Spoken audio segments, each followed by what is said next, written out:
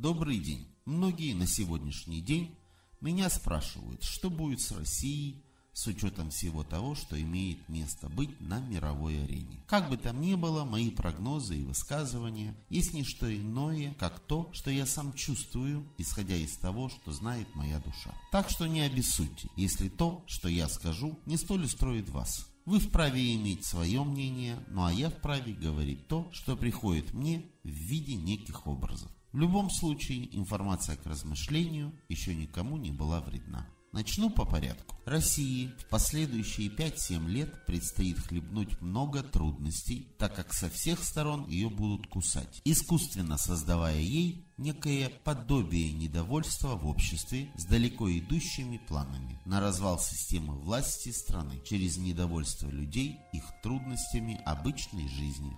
Во многих регионах люди будут оставаться без работы, попадать под сокращение, и их финансовое благополучие стремительно будет уменьшаться. Ничего фатального здесь нет, но многие проплаченные казачки с разных трибун, радио, телевидения, будут сквернословить в адрес власти, призывая людей к решительным мерам и явно не в пользу самой России. Власть в России может коренным образом поменять ситуацию в стране, если перестанет быть либеральной, то есть не желающей идти на конфликт.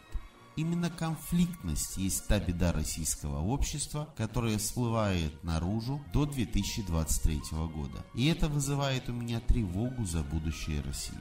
Общество страны нуждается в реформах и наказание всех виновных на всех уровнях государства, кто финансово грабит страну и всячески подрывает ее изнутри через всевозможные пасквили и борьбу за права россиян на чужие средства из-за океана.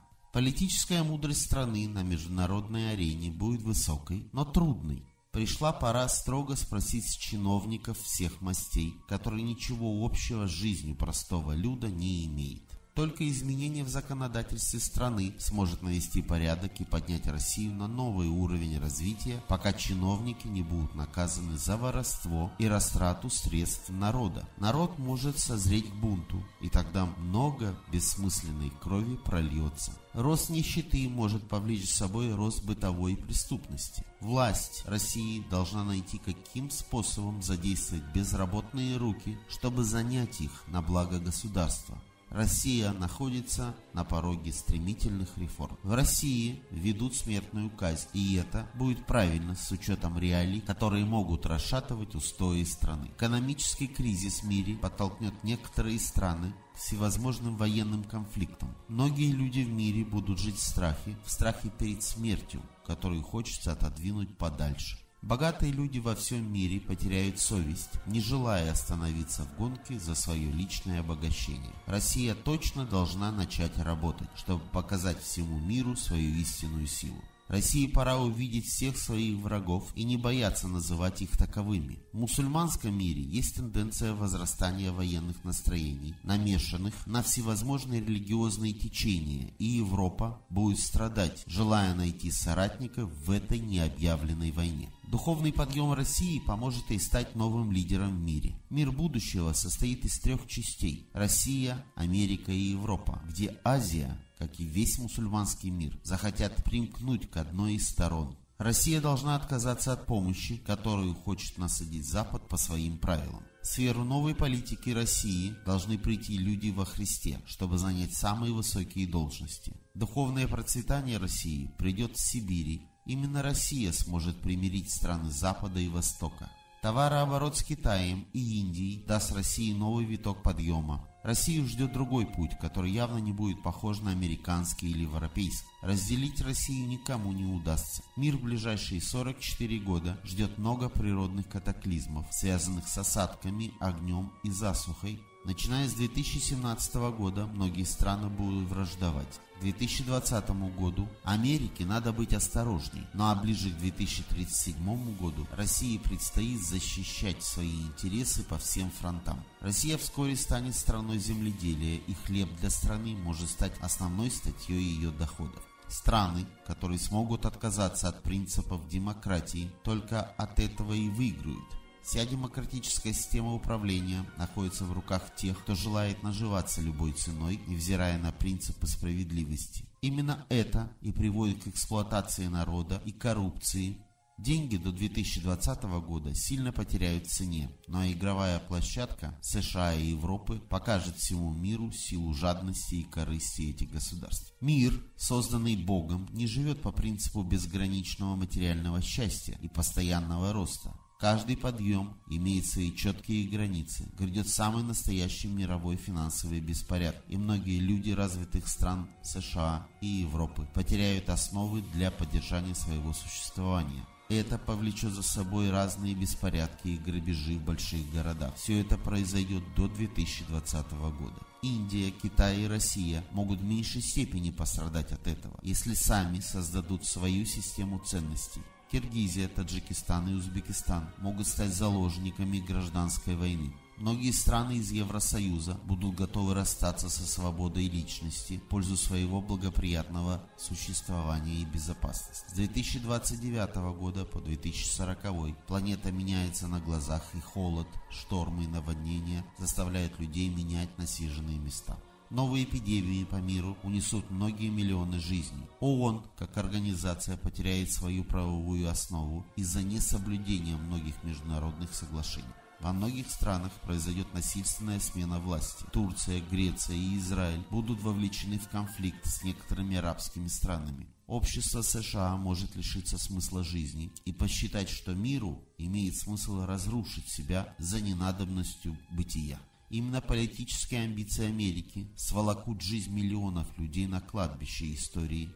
Много стран будут разрушены на побережье Индийского и Тихого океана. Япония и Австралия могут пострадать от голода, нехватки воды и болезней, мора и энергетического кризиса. Иммиграция людей в сторону России может стать проблемой 21 века. Если Европа не наладит отношения с Россией, она пострадает от варваров, и тогда Испания, Италия, большая часть Балкан, часть Германии, Франции, Украины и Казахстана могут пасть от нашествия иродов. Дальний Восток и часть Сибири могут стать развивающимися регионами, где китайцы смогут хорошо обосноваться до 22 века. Мир будет лихорадить всевозможными вторжением чужестранцев на чужие территории. Границы многих стран претерпят определенные изменения, и карта мира кардинально видоизменится. Весь современный мир станет одним местом для голодных скитальцев всех мастей, лишенных крова. Христианство станет стремительно распространяться на Китай, и тем самым Китай проснется. Те правители, что захотят переворота в России и ее разделения, сами того не ведая, объединят всех русских по одному принципу святого православия. Кавказ, Средняя Азия, Прибалтика и Дальний Восток могут стать полигонами для новых военных действий. Многие дельцы захотят разграбить Россию, считая ее несостоятельной, чтобы владеть и распоряжаться своими ресурсами. Западные страны захотят спровоцировать Китай на войну с Россией. При этом сами во главе с Германией начнут наступление с Европы. Монголия и Россия могут создать некий союз, который поможет им остановить врага. Россия сможет все превозмочь, если каждый русский будет готов к молитвенному подвигу и крепости проверки своей веры в Бога. Ненависть к России и западного мира станет очевидной, пока сам Запад не увидит опасность исчезновения своей собственной цивилизации. Многие по духу русские люди придут на помощь Родине, чтобы помочь ей воспрять силами. Украина, как и Белоруссия, захотят отвернуться от России. Грош цена тем правителям, кто это затеет. Россия явно продолжит свой путь, и с годами она восстановит свой статус монархии. США не сможет победить Китай за звание главной страны по превосходству в мире. Каждая новая война в 21 веке будет более жестокой, чем предыдущая, и поработит все новые и новые государства. Ну а пламя пожара войны охватит большое пространство земного шара. Те страны, которые не будут вовлечены в войны, не особо будут понимать несчастье своих соседей. Желание мстить своим соседям разрушит многие сильные государства. Украина, как и Турция, дойдут до открытого противостояния с Россией, предоставив свою территорию для полетов и водным перемещениям военным Америки и НАТО. Именно так и начнется обратный отсчет гибели Турции и Украины. Черное море станет местом военных действий России с альянсом стран под предводительством Америки. После победы России на море все Черное море станет русским морем. Турция станет страной жесткой диктатуры.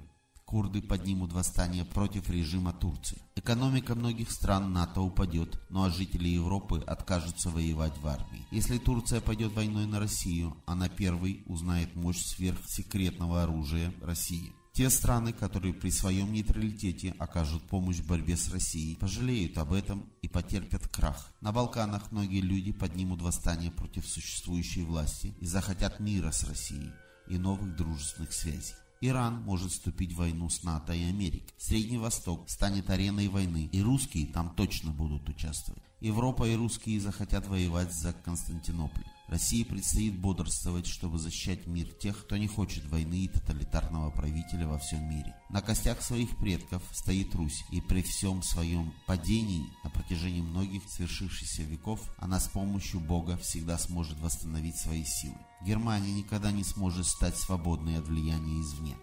Россия никогда не сможет смириться с фашизмом, даже если его будут называть другим именем. Культура России изменит весь мир, ну а русский народ даст миру новое отношение к религии и будущей мистично-духовной эволюции всех свободных людей на земле. Многие современные страны привыкли видеть в образе русского человека раба. Одного, чего они так и не смогли понять, высший образ этого раба. Есть некая магическая сила, данная русским людям не этим миром, Духовность и чувство справедливого братства явит России ее будущее величие. Роль России – быть поводырем, а не поработителем других стран. Гибель России спровоцирует гибель всего мира. Все последствия дурных обстоятельств прошлого России в 20 веке станут ясны всем русским, чтобы они смогли прозреть и отчетливо увидеть все свои грехи. Ближе к 2030 году Америке предстоит признать за Россией ее духовное превосходство. Балканские страны возжелают быть в одной связке с Россией. России предстоит стать матерью всех славянских народов мира.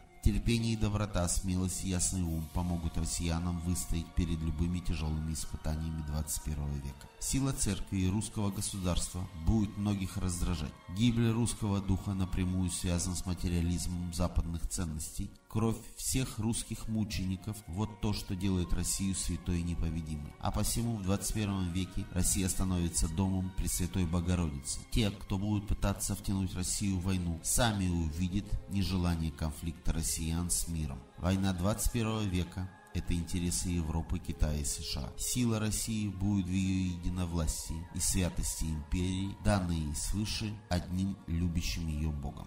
Как бы ни сложилось будущее мира, часть этих событий может выглядеть именно так, даже если сейчас это кажется нереальным и даже абсурдным. Ну а на сегодня мне больше нечего вам сказать.